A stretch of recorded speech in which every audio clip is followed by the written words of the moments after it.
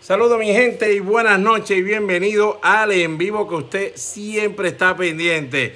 El en vivo de Me Gusta los Deportes por aquí, por Facebook. Usted sabe que señores, nosotros somos los, los, los, los que los vamos a poner el día en todo lo que tiene que ver con el béisbol de las grandes ligas y también béisbol de Puerto Rico. Hoy vamos a estar hablando un poquito al final, eh, el, el, ¿cómo se llama? El, el mensaje final de hoy eh, es dirigido para pues eh, fanáticos del béisbol AA, eh, directivos del béisbol eh, y también podemos decir este peloteros del béisbol AA también porque si usted participa en la liga del béisbol superior, del béisbol AA, pues claro que usted también puede escuchar esto y, y pues saber de qué está hablando palillito. Vamos a esperar, ¿verdad? Dar un par de minutitos como siempre eh, damos para que todo el mundo se vaya este, acomodando aquí eh, para escucharnos a nosotros. Me gustan los deportes.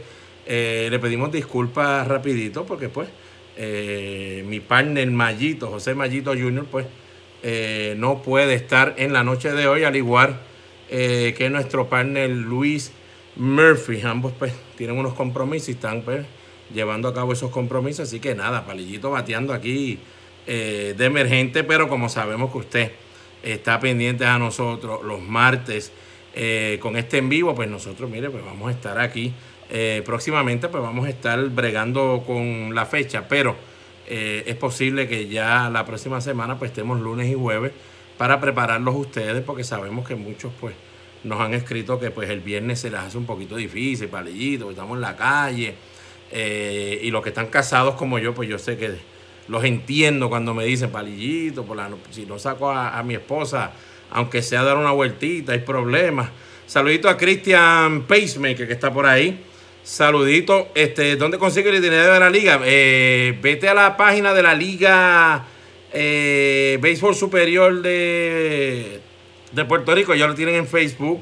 En Facebook casi siempre tienen todos los o los itinerarios, eh, Titito Rosa, pues siempre tiene la página de Facebook al día. También tienen al día eh, la página website, Liga Béisbol Superior de Puerto Rico, AA. La puede buscar en, en internet y le va, le va a aparecer rapidito. Ahí también las estadísticas eh, que José Mayo, padre, las tiene, mire, al día también. Así que recuerde Página de Facebook, busque la Liga de Béisbol Superior AA, como también puede buscarla en, en las redes, en Google, Google o como uno dice.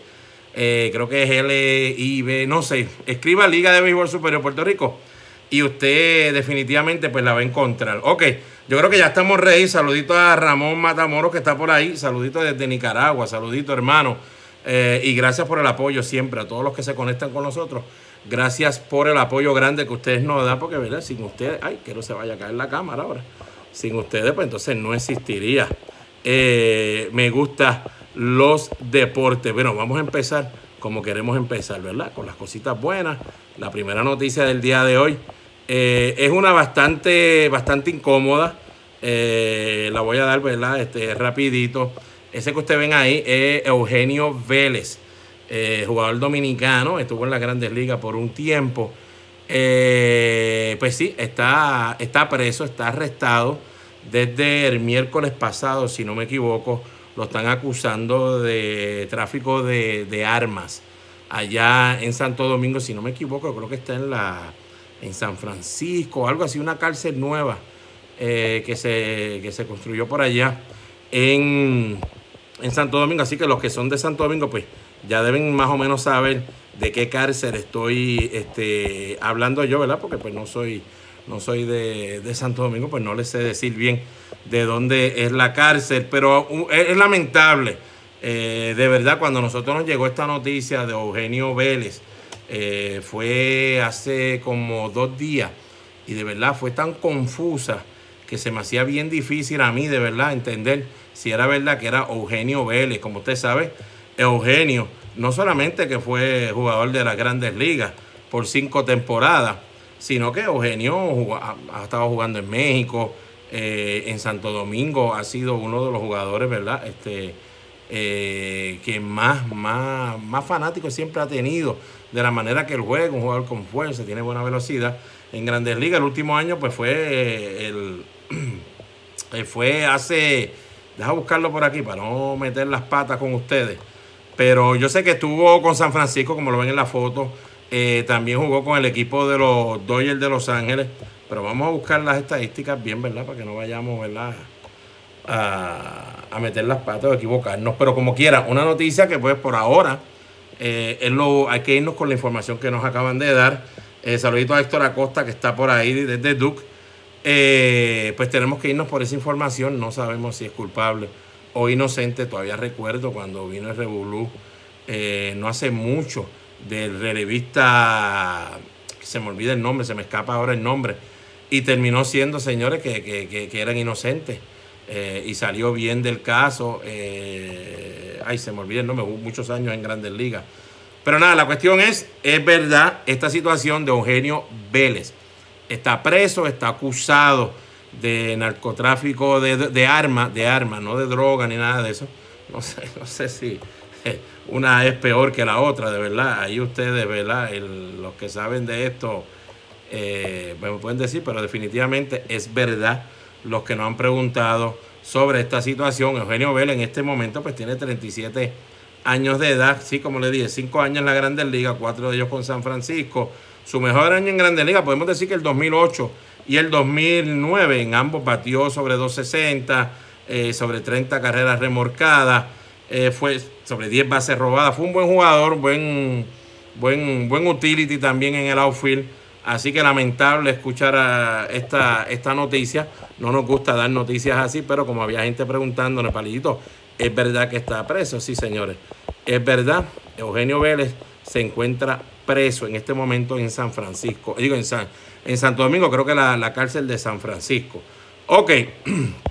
Otra noticia, vámonos entonces ahora con una noticia más, más agradable. Ese que usted ve ahí es el derecho puertorriqueño Joe Jiménez, nuestro amigo, estuvimos hablando con él hace, hace como media hora, 40 minutos, y de verdad que él, él está bien contento que se le va a dar la oportunidad. El dirigente hoy, Ron Gardenhire, del equipo de Detroit, anunció que nuestro Joe Jiménez va a ser el cerrador del equipo. Señores, pues acuérdense, cuando se le anuncia a usted va a ser el cerrador del equipo, por lo menos usted, tanto como lanzador y fanático, lo que tiene que recordarse es que va a tener la oportunidad por lo menos ese primer mes de temporada, mes y medio, dos meses, para poder demostrarle que él puede hacer el trabajo. Eh, no se sienta que, si luce mal en la primera, pues ya lo sacan de cerrador. No, no, cuando usted lo nombran cerrador del equipo, mire, usted lo que tiene que sentirse muy bien, como le dijimos a él, eh, porque por lo menos usted sabe que la confianza está en usted y que ellos esperan, por lo menos, ¿verdad? Que usted vaya a aprovechar esa oportunidad y se vaya a quedar como el cerrador de toda la temporada. Eh, Joe Jiménez, de verdad que el año pasado para mí eh, le cayó el sophomore slump. Y eso no es nada nuevo, señores. Eso le está pasando a, los peloteros desde, wow, desde la época de antaño. Usted siempre tiene una buena temporada, la primera buena temporada completa. Usted siempre la tiene en grandes ligas. Cuando viene a ver la próxima, uh, hay problemas. Y, y, siempre ese sophomore year los que lucen bien ese sophomore year, pues es que usted abre los ojos y dice, wow, eh, eh, este hombre es caballete. De verdad que puede tener un futuro increíble. Eh, saludito, ¿cómo es? México. Héctor, ah, ok, México, México. saludito a Juan Carlos que está desde Milwaukee. Saludito, gracias por el apoyo. También, mire, yo Jiménez el año pasado 4 y 7 con 4.37 de efectividad. Cuando ellos cambiaron a su relevista corto para el equipo de Atlanta, pues entonces Joe le dieron la oportunidad de cerrar dos o tres juegos al final de la temporada, lo hizo bastante bien, salvó nueve partidos en total. La temporada pasada ponchó 82 bateadores en 59 entradas y dos tercios. Eh, yo creo que, mire, es la mejor, la mejor decisión que puede tomar ahora mismo el equipo de Detroit. Es el mejor brazo que ellos tienen, es, el brazo que se lo ha ganado, porque usted sabe que en el 2018 Joe Jiménez eh, hasta fue el único representante del equipo de los Tigres de Detroit en el juego de estrella. Así que se lo ganó el nuestro. Eh, es el mejor brazo. Es Detroit. Sabemos que es posible que se le va a hacer difícil a este equipo ganar muchos partidos.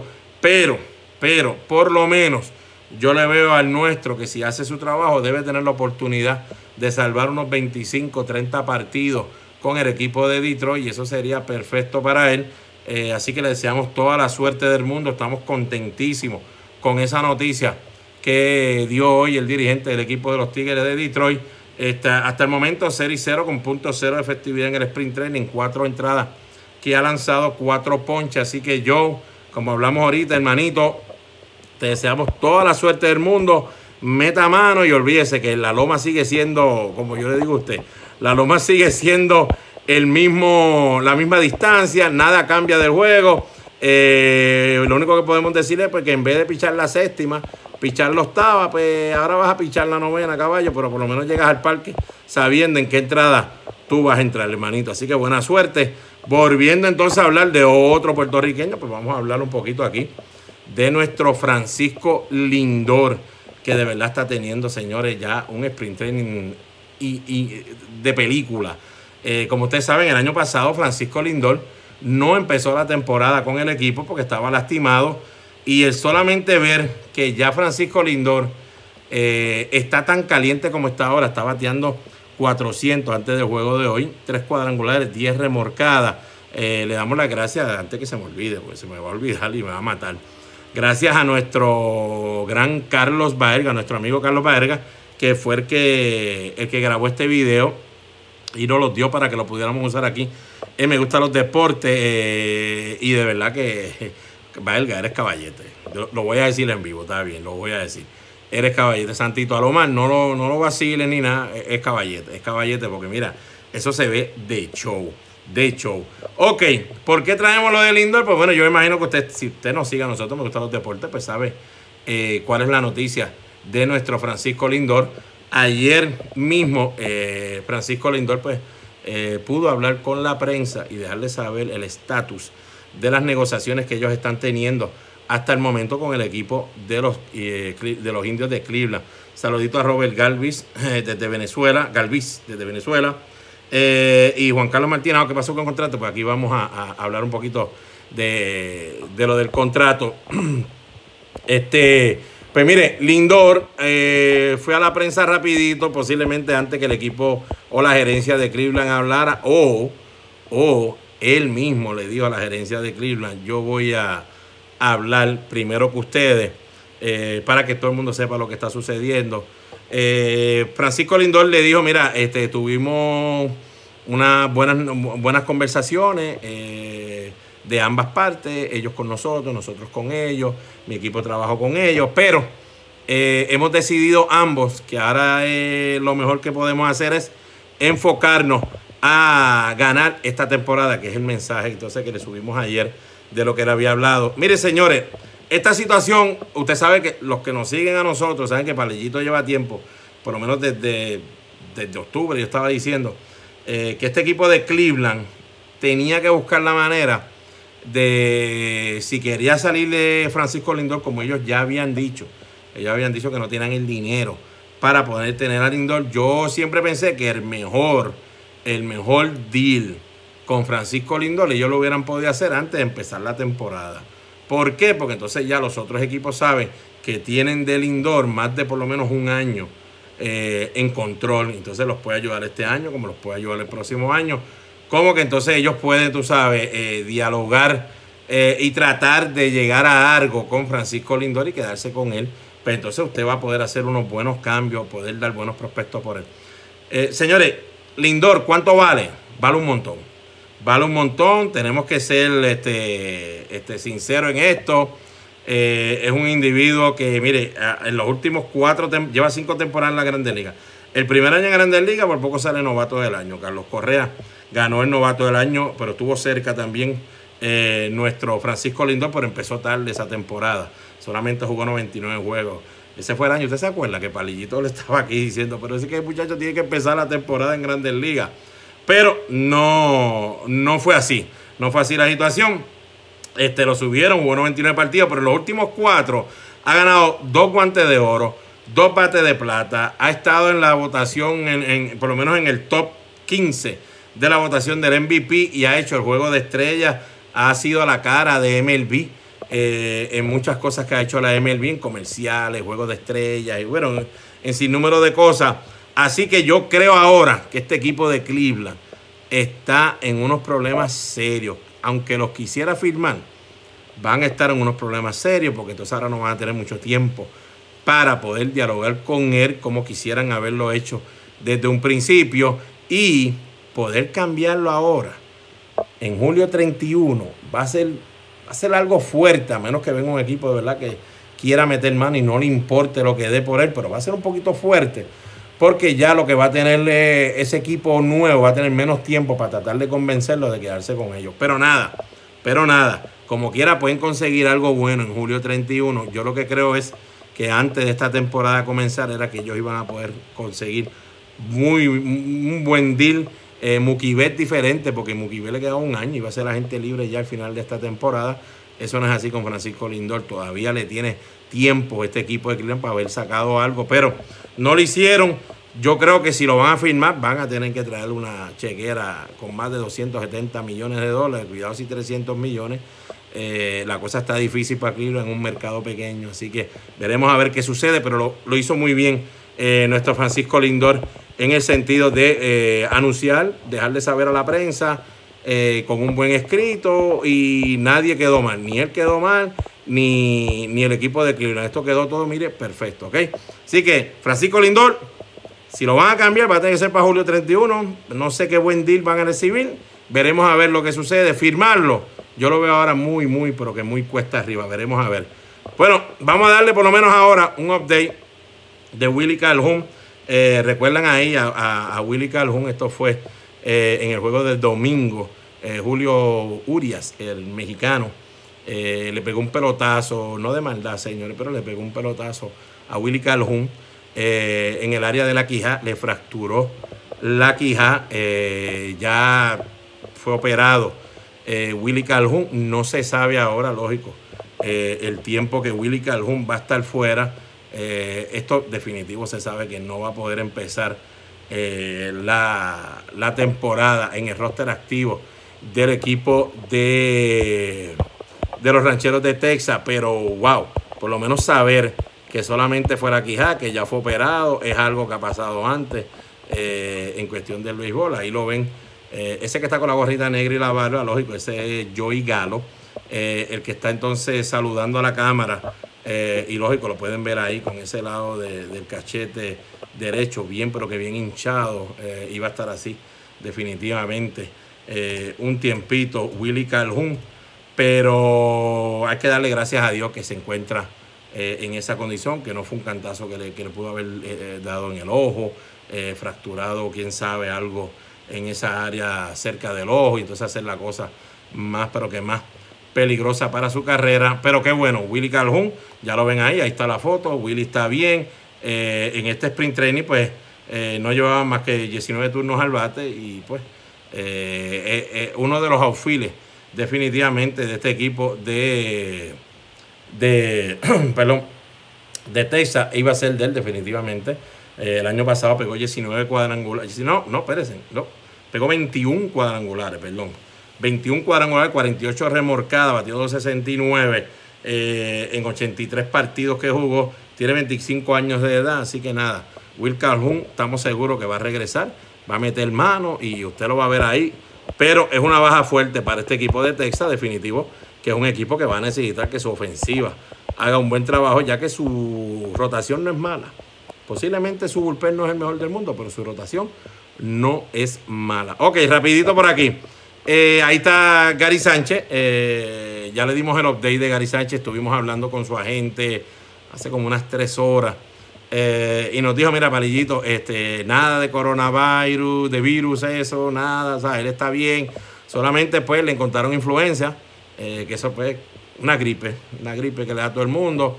Eh, antes de venir al aire ya me había dejado saber su agente que por lo menos la fiebre ya la había bajado un montón. así que pronta recuperación a nuestro hermano, un partner también de nosotros aquí. Él me gusta los deportes, ya que lo hemos entrevistado y ha estado con nosotros muchísimas veces por aquí, Gary Sánchez, así que le deseamos una pronta recuperación. En cuestión de su espalda, eso todavía sigue, señores, todavía sigue lo de la espalda. Esto solamente pues la influencia que le, toca en el mismo tiempo que él estaba descansando para la espalda. Eh, ahí estamos viendo, por lo menos, eh, cuando él estaba cachando al prospecto Davis García, eh, lo que hablamos de las piernas. Esto lo habíamos hablado el domingo.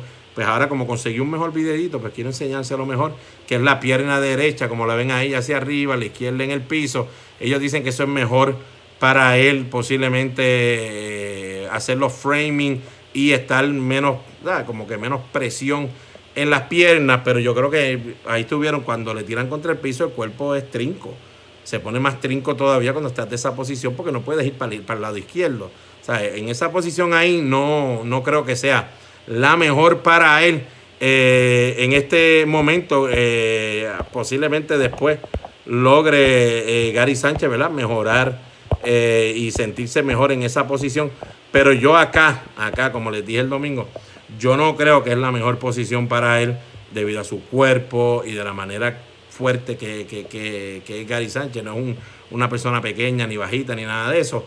Eh, lo vieron ahí casi bloqueando una bola, como uno se trinca y tiene que moverse de momento. Yo creo que eso es mucha presión para él en la espalda. Un catcher pues que tenga, que sea más atlético, un catcher más bajito, que no sea tan grande como él en cuestión de, de fuerza, pues definitivamente estoy seguro que esa posición sería perfecta para él, pero veremos a ver lo que va a suceder. Lo bueno es que es solamente, mire, influenza nada más, influenza, una gripe, vamos a ponerlo así porque si sigo diciendo influenza como que suena algo bien raro, es una, una gripe la que está pasando Gary Sánchez.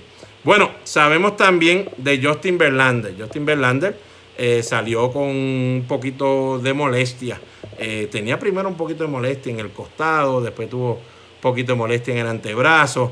Ya le hicieron todos los MRI posibles y habidos por haber a, Justin Verlander. Todo salió negativo, solamente pues, con tensión, lo que llaman tensión estrés, de estrés en, en el antebrazo, pero no debe haber ningún problema con él. Eh, ponerle el ojo, lógico, ponerle el ojo siempre a estos lanzadores, porque usted sabe que tan pronto estos lanzadores sienten algo como esto, ya usted sabe a veces lo que viene después, cuando viene a ver, wow, ¿qué pasó? Tomillón, ¿cómo va a ser?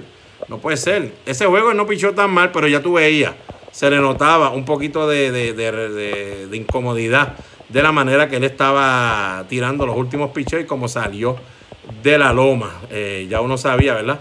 Eh, los que hemos visto muchos juegos de pelota. Pues ya uno sabía que, que algo le pasaba a, Justin Verlander. Pero nada, yo creo que esto definitivo no va a estar ready para empezar la temporada. Es un cantazo fuerte para este equipo de los Astros de Houston que tienen que empezar la temporada eh, con el pie correcto, luego de todos los revoluces que están pasando. La temporada que él tuvo el año pasado de 21 victorias, líder en victoria en la Liga Americana, 2.58 de efectividad, 300 eh, ponches en 223 entradas, fue el líder en entradas lanzada. No, entonces no creo que vaya este año a lanzar eh, sobre 200 entradas. Veremos a ver cómo el equipo de los Astros de Houston deciden trabajar con él a principio, porque cuando este equipo si empieza un poquito malo en ese primer mes de temporada sin Verlander, la cosa se pone, pues mire, mucho más difícil. Eh, no sabemos lo que va a hacer Urquidi, el mexicano, no sabemos cómo Grenky va a venir esta temporada. Grenky no ha estado luciendo muy bien en las últimas temporadas. Así que Justin Verlander es el individuo que tú necesitas. Si tuvieras a Garrett Cole, pues entonces no tuviera uno volviéndose, eh, como uno dice, tan loco. Pero no tienes a Cole ya. si no tienes a Cole, la cosa ahora cae en esos brazos, en esos hombros de ese individuo y la cosa se pone bien, pero que bien difícil. Bueno, el otro que vamos a hablar, Michael Conforto. Michael Conforto ya le hicieron par de estudios, le hicieron este, resonancia magnética, los, los MRI a, Michael Conforto, eh, todavía sigue sintiendo eh, problemas. El muchacho, ¿qué significa? Que es lo que quería hablar con ustedes rapidito. ¿Qué significa esto para el equipo de los Mets de Nueva York? El saber que Michael Conforto posiblemente pues eh, vaya a estar fuera por un, tiempo indefinido. el problema de él ahora mismo es en el costado él está, sintiendo problemas en el costado. Eh, esto está pasando mucho en el béisbol, señores. Estos tipos se están lesionando. Eh, no lo digo solo por él, pero hay muchos que se están lesionando muy fácil. Eh, con problemas en el costado, entonces ellos decidieron con eso que dio negativo la prueba, vamos a enviarlo a Nueva York, lo enviaron a Nueva York para que lo vea el doctor David Alchek. David Alchek, yo espero que lo esté diciendo bien porque mi inglés a veces se pone medio, medio, medio fatulo. Pero mire, Michael Conforto, definitivamente los Mets de Nueva York tienen, tienen que buscar la manera que Michael Conforto empiece eh, con el equipo activo. Eh, si no pasa de esa manera, con todo el revolú que ellos tienen ahora mismo con el gran Joene Céspedes, que ellos no saben lo que Joene Céspedes les puede dar esta temporada, no saben si Joene Céspedes va a poder jugar más de 20 juegos, 100 juegos, 40 juegos, 50 juegos. Pues Michael Conforto es el individuo que el equipo lleva años esperando, lleva años esperando que este muchacho se soltara y mire, se empezó a soltar el año pasado 33 cuadrangulares, 92 carreras remorcadas, 257 de promedio. Él se va a ponchar, lo sabemos, terminó ponchándose 149 veces.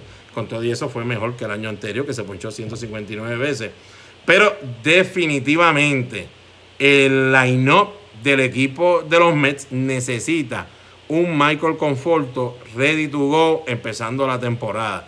Puede ser que lo tenga fuera una o dos semanas antes de empezar la temporada, pues no es nada malo digo, empezando la temporada, que lo pierdas una o dos semanas de las primeras partes de la temporada, pues tú lo aguantas, pero necesitan con Pete Alonso. Este equipo de los Mets necesita a Michael Conforto en esa alineación. Eh, ustedes saben que el equipo, pues, eh, Wilson Ramos eh, es un buen bateador, pero es lento en la base. Conforto, pues entonces ayuda a ese line, ¿no? La cosa se, se, va moviendo un poquito, un batazo entre dos de Ramos puede anotar Conforto. Eh, pone la cosa de verdad eh, para este equipo de los Mets bastante buena, por lo menos en la parte de arriba de la alineación. Así que van a necesitarlo para que él pueda ayudar a Pira Alonso. No sabemos cómo Robinson Cano va a venir. Así que ellos necesitan. JD Davis ya está un poquito lesionado. O tampoco sabemos si va a empezar la temporada bien con el equipo. Pero veremos a ver. Veremos a ver qué sucede. Pero Michael Conforto. Preocupante esta situación para los, los Mets. Bueno, los fanáticos de los Mets también, lógico. Eh, porque pues eh, cuando es el costado así, a veces uno no sabe ni cuánto tiempo va a durar. Puede durar dos semanas, como puede durar un mes, mes y medio en lo que tú te vuelves a caer. Eh, saluditos a Conde González que me escribió por ahí, es cierto, esa forma agota mucho. me paqueté con un hombre, ajá, Adalberto Junior Ortiz, exacto, Tony Peña, exacto. Ya, ya, ya está cogiendo la idea, Conde, tienes toda la razón en cuestión. Estamos hablando de lo de el punto de Gary Sánchez, de la manera que lo tienen cachando ahora. Ok, lo de Max Scherzer rapidito, esto no le vamos a dar mucha mente, señores. Eh, tiene solamente, como él dice, él dice que es como una fatiga de cuerpo. Eh, no reaccionó, no se recuperó eh, igual de rápido que siempre se recupera cuando hace una salida en sprint training y por eso ayer pues no, no, no lanzó. Hoy, hoy le tocaba lanzar, si no me equivoco. Si hoy era eh, espera lanzar el domingo, pero nada, señores. Los que están gritando por ahí, palillito, se me lastimó Chelsea, ¿qué va a pasar? No, no, no, no. Chelsea le está bien. Él mismo lo sabe, él mismo se conoce. Así que usted no se preocupe por nada. Con Max Scherzer, él va a estar bien, señores. Solamente se lo quiero recordar por aquí. Juan Soto, Juan Soto, tranquilo, caballo. Yo sé, yo sé que está todo bien, Juan Soto. Yo sé que está este, todo bien, hermanito. Así que Max Scherzer está bien, señores. No hablar mucho de él, porque, pero lo tengo que hablar porque es que muchos me están escribiendo asustados y no, no, no, no, no, no. No hay que hablar más nada de él. Ok, ahora voy a hablar de algo que, de verdad que todavía me tiene, me tiene en shock. Me tiene en shock y esto pasó allá en Panamá, eh, en la Liga Juvenil. El equipo de Herrera, que es el campeón, están celebrando la victoria ese es el dirigente Israel Delgado, si no me equivoco, cubano. Y se molestó porque Jorge Calderón, que fue el que le tiró el agua, y ven cómo le da la galleta, le da una galleta en sí, es verdad que se la dio con la mano virada, ahí ven a Jorge Calderón bastante molesto cuando pasa la situación el momento. Eh, ahí Israel Delgado, creo que es Israel Delgado, estoy casi seguro que ese es el nombre de él. Ahí Israel Delgado está hablando con la con el reportero y están en las cámaras para no me acuerdo qué canales que ellos estaban en vivo y entonces ahí le está pidiendo disculpas a Jorge Calderón le está pidiendo disculpas completamente a Jorge Calderón por la situación que, que, ¿verdad? que, que protagonizó. a supuestamente Israel sigue diciendo que él le había dicho al equipo ya que él tenía, él tenía gripe, que no se sentía muy bien y que por eso era que él se molestó tanto cuando le tiraron el agua fría. El muchacho, que creo que se llama Jorge, Jorge Calderón, eh, pues entonces le, le, dijo, lo dijo hasta en vivo y todo. Dijo, pues mira, yo no, perdona, yo no sabía que él estaba enfermo y de que se había dicho que no, ¿verdad? Que no le tiraran eh, agua fría o nada de él. Pero no, señores, esta no es la forma de reaccionar, señores. Malísima esta forma de reaccionar de parte de Israel Delgado. Saludito a Steven Orián, que está por ahí, Steven Molina. Eh, saludito, hermano, gracias por el apoyo siempre. Esta no es la forma de actuar, Israel. Usted lleva muchos años en el béisbol de como dirigente. Pues mira, ¿qué te ganaste? Te ganaste lo que debió haber sucedido. Te suspendieron por un año, no puedes dirigir en ningún lado por un año no puedes dirigir por un año y una multa de mil dólares, que mucha gente dirá mil dólares, no, no, mil dólares duele, duele, ellos no están ganando un montón de dinero allá donde está trabajando él, así que señores, malísimo lo que hiciste, te aplaudo porque fuiste hombre y fuiste el adulto en la situación y rápido pediste disculpas en vivo, o sea, que todo el mundo lo viera al momento. Y por televisión como mismo todo el mundo vio cuando le pegaste la galleta. O la bofetada así de mano, no, porque no tampoco se la tiró bien duro así, Para tumbarlo. Pero le quedó malísimo, le quedó bien malo. De verdad, eso a Israel Delgado. Así que Israel, fallate, caballo, fallate. Pero por lo menos pediste disculpas eh, y la liga, la Federación de Béisbol de Panamá hizo tremendo trabajo con la suspensión. Ok, aquí estamos en la, en la parte final del en vivo de hoy. Entonces vamos a hablar un poquito del béisbol AA puertorriqueño, la Liga Superior de, Puerto Rico. Señores, perdón, un poquito ronco. Este, ese que está bateando ahí eh, juega con los arenosos de Camuy. Esta es la Liga de Puerto Rico, por si acaso usted no es de Puerto Rico. Es la Liga Amateur de Puerto Rico que los profesionales llevan años, que pueden jugar también eh, cuando quedan agentes libres en los Estados Unidos y prefieren quedarse en Puerto Rico y ganarse dinerito ahí en vez de viajar y quedarse cerca de su familia, pues hacen eso. Eh, ese es Kirby Camacho que está conectando cuadrangular en su primer turno de arbate del domingo pasado. Él juega con el equipo de Camuy. Kirby está bateando casi, wow, casi 630. Eh, tiene 5 cuadrangulares, 16 remorcadas eh, en 4 juegos, si no me equivoco, que ha jugado en total el equipo de Camuy. Si no son 4, son 6 pero por lo menos en esa, en menos de 10 partidos podemos decir, ese video que está viendo ahora, esa parte en el video, es Kirby Camacho cuando jugaba con el equipo de los gemelos de Minnesota en la, creo que se fue en la Rookie League en el 2015. Eh, sí, si no me equivoco, sí, fue el 2015. Eh, este video me lo enviaron pues, para que todo el mundo, pues ustedes lo pudieran ver a Kirby Camacho y saber de quién estamos, ¿verdad? Este, hablando, porque mucha gente rápido que pusimos ese cuadrangular que usted vio ahí, él conectando, que es el número 5 de la temporada, mucha gente rápido empezó a, hacer comentarios que, no, están, no, están, no están muy bien los comentarios eh, que estábamos viendo y, por eso es que estoy entonces viniendo aquí con ustedes. Ahí están los números, ese es Kirby Camacho, los arenosos de Camuy. Este, pues mire, señores, empezó muchas personas a decir, Ah, pero esa, liga, ahora esa liga la mata cualquiera porque él fue pro, eh, ese muchacho, y, mira qué perreo cuando da el. Primero que nada, señores, perreo hay en toda, en toda, en toda, en todas las ligas que usted esté jugando. Yo no sé qué liga a veces usted está viendo, pero en todas las ligas, señores, que usted está viendo, ya hay perreo cuando uno pega un cuadrangular. Y no importa si fuiste jugador profesional o no lo fuiste, si eres amateur, no importa cómo sea, usted ya está perreando a todo tren cuando usted pega un cuadrangular. A veces perrean y el jorrón está allá al ladito, ni se fue muy lejos. Mire, Kirby Camacho eh, fue drafteado en la ronda número 11 del 2015 por el equipo de los gemelos de Minnesota. Entonces, pues jugó en el 2015 eh, en la Rookie League, que es el video que usted vio ahí. Eh, con ellos pues batió .93, no batió muy bien. Un horror, 5 remolcadas, solo 5 en 54 turnos al bate Pero señor, tiene 17 años de edad nada más. En el 2016 no jugó, creo que estuvo lesionado, me dicen. Entonces en el 2017, con 19 añitos y un año casi sin jugar, lógico, completo, eh, pues mejoró la cosa un poco, 2.46, 10 remorcadas, pero solamente jugó 21 partidos y quedó agente libre. Eh, No, no, no jugó. Entonces en el 2018 pues no jugó. Eh, se quedó en Puerto Rico tranquilo con su familia. Eh, pero miren, esto es lo que yo les quiero decir ahora con lo que todos los que están escribiendo por ahí. Primero que nada, está bien, si no batió en el profesionalismo, who cares? Está haciendo el trabajo en el béisbol AA, está haciendo el trabajo con los arenosos de Camuy, los está ayudando a ganar, se está comiendo la liga. Si estuviera bateando 100 en este momento, muchos de ustedes estuvieran diciendo, ah, pero palillito, ese profesional bateando 100, debe estar cobrando un montón. Y mira qué porquería es, y, los que están en la liga no están, no están, este, los que están jugando amateur, que son peloteros amateur, no cobran igual que él. Eso es lo que tú estuviera diciendo. Pero mire, no, me, no hable mal de Kirby Camacho, no hable si le fue bien en las menores o no.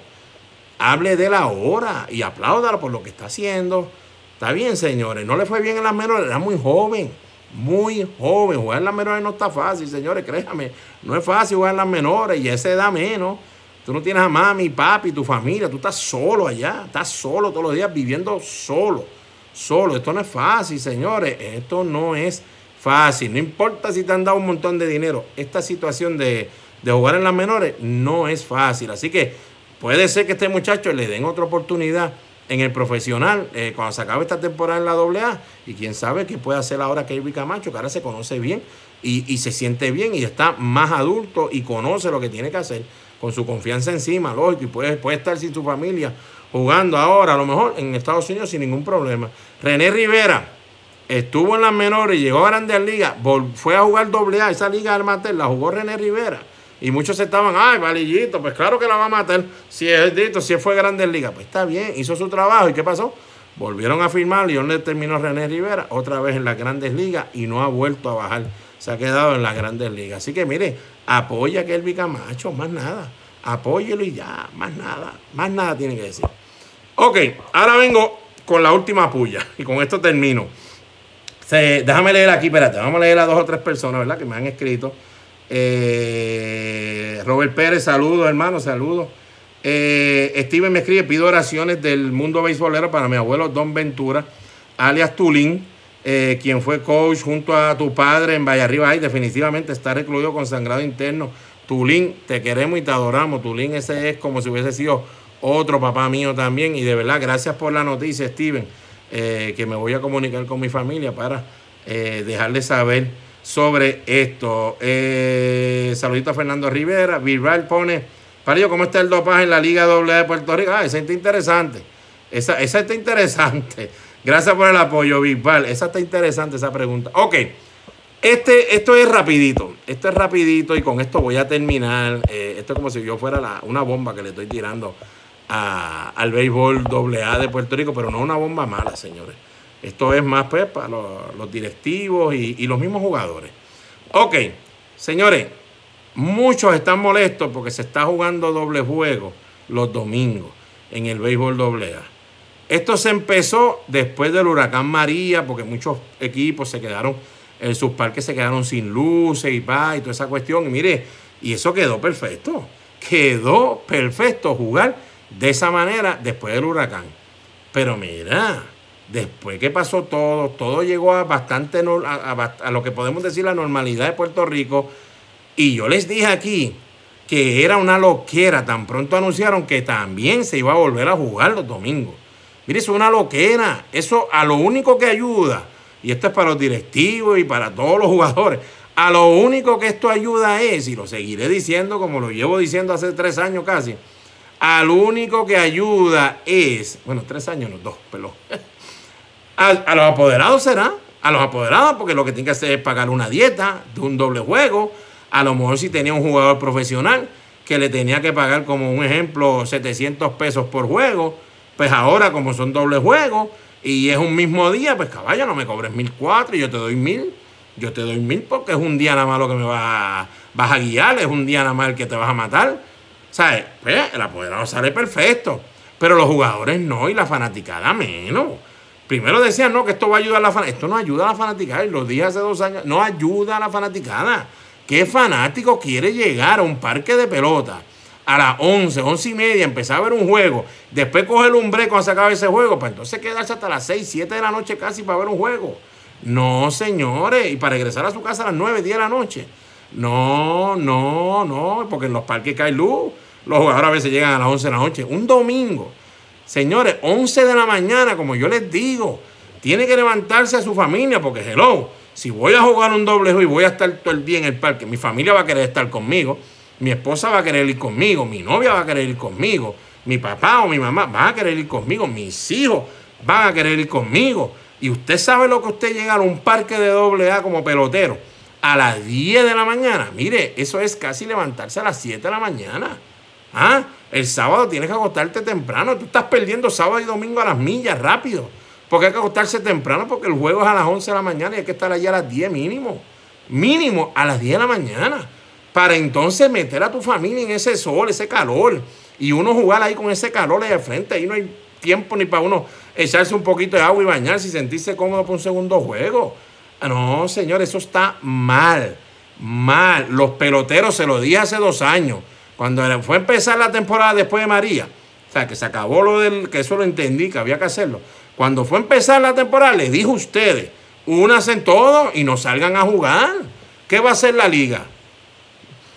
Cancelamos el juego, ¿quién gana? Porque ningún equipo salió a jugar y vuelve la semana que viene, hagan lo mismo, no vamos a jugar, pues cancela los dos juegos, regala, no sé lo que vas a hacer, uno gana uno, dividimos los dos, pues nos vamos para la casa con una victoria y una derrota y nos, nos tiene que pagar, porque si nos vas a dar una victoria y una derrota, nos tiene que pagar porque ya se jugaron los juegos, están contando los juegos. Únase usted pelotero, entonces diga, no, yo no voy a jugar así. Cuando vengan esos juegos importantes, ustedes van a ver que alguien, la fanaticada es la que los va a apoyar a ustedes y los va a ayudar. Los mismos fanáticos van a decir, mira, queremos ver béisbol ¿Cómo que estos tipos no van a jugar? No, así que meta mano. Si usted quiere hacer algo, no llore más. No llore. Llorar y escribir no va a hacer nada. Únase. Únase en todo. Porque no puede ser de, de 25 peloteros, pues 15 lo vamos a hacer y los otros días vamos a salir a jugar. No, no. Únase. Yo jugué Liga Independiente. Mi papá era el dirigente del equipo. Y se hizo una cosa mala que hizo el dueño del equipo y nos fuimos a huelga, señores. Nos dijimos, este próximo juego no vamos a jugar. Hablamos con el otro equipo, le explicamos lo que hizo ese equipo con nosotros, el dueño, lo que, lo que trató de hacer con nosotros. No se tiraron al terreno tampoco. Nada. ¿Qué pasó? Se acabó ese, ese revuelo al otro día por la mañana. Reunión todo el mundo, el presidente de la liga. Bueno, hay que hacer esto y esto porque los fanáticos están molestos porque pagaron taquilla y no vieron nada de juego, otros vinieron de lejos. Eso es lo que hay que hacer. Pero tienen que hacerlo unido. Bien, pero que bien, unido, ¿ok? Pregunta, pues Palillito le dijo que lo Y no es que yo quiera dañar la liga ni nada de eso. Esto no es dañar la liga. Esto es que no podemos esperar que un pelotero tenga un accidente a las 10, 11 de la noche con su familia que Dios quiere y no uno de ellos, o, qué sé yo, todo, eh, les pase algo grave ahí. No tiene que ser que muera, pero algo grave, algo bien grave, que se tarden años en recuperarlo, no sean los mismos después de un accidente así. Para entonces decir, ah, mira, pensándolo bien, vamos, a, este, apoderado, este, vamos a tener que hacer dos juegos otra vez a la semana. Si hay que jugar viernes, hay que jugar domingo. Hágalo ya, ahora. ¿Estamos? Nada. Gracias a todos por el apoyo. Feliz noche hoy, lo que queda de noche. Siga disfrutando. Y recuerde, estaremos por aquí otra vez con él en vivo de Me Gustan los Deportes este próximo jueves, si Dios quiere. Y esperemos, ¿verdad?, que nuestro Luis Murphy y Mayito pueda estar con nosotros. Señores, dale share, retweet, view, todo lo que tú quieras a este video para que todo el mundo se entere. Y recuerda que también estamos en YouTube. Búscanos en YouTube. Estamos en Instagram, arroba Mayito MGLD arroba Luis Murphy, también en Twitter, arroba me gusta los deportes también en Instagram, así que búsquenos por todos lados y siempre, siempre le agradecemos el apoyo que nos dan a nosotros aquí en Me Gusta los Deportes. Buenas noches.